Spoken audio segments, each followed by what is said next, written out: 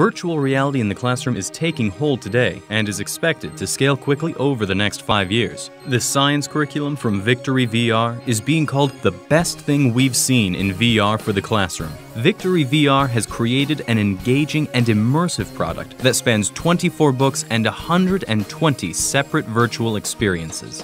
Students take virtual field trips to the Redwoods Forest north of San Francisco, Apache Point Observatory in New Mexico, Kitty Hawk, North Carolina, a farm in Iowa, and so much more. Even more, the world's first 360 VR comic books are used to introduce the lives of Isaac Newton, Chien-Shiung Wu, Mario Molina, and other giants of science.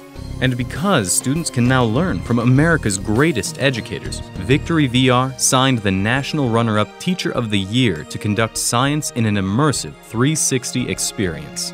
Interactive engagement in a virtual world is the revolutionary change, and Victory VR doesn't disappoint interactive tours of a human cell, an escape castle, and a full 360 cylinder word search are just a taste of the activities students can now engage with as they get a hands on learning experience. And be there right next to them, even though in real life you're sitting right here in the library at school.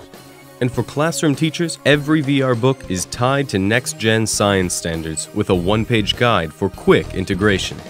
Learn how Victory VR makes a real difference in the way students learn.